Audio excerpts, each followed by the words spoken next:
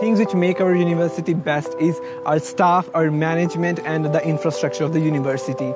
If we talk about the staff, our teachers are very highly qualified and they are very nice and very cooperative. The thing which I like most in my teachers that they are very professional and very passionate to their work. It's the only university who organize MCI coaching for students because as we are Indians, so we have to clear the MCI exam. Next year, we are going to the hospitals for some real-time experiences and for some practical classes.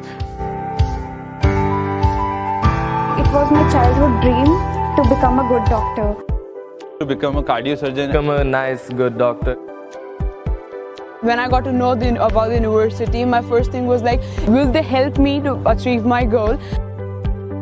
And when I talked to the professors and the teachers, they were really cooperative and they told me that they will arrange teachers or they'll bring uh, the best material for me to become uh, a surgeon.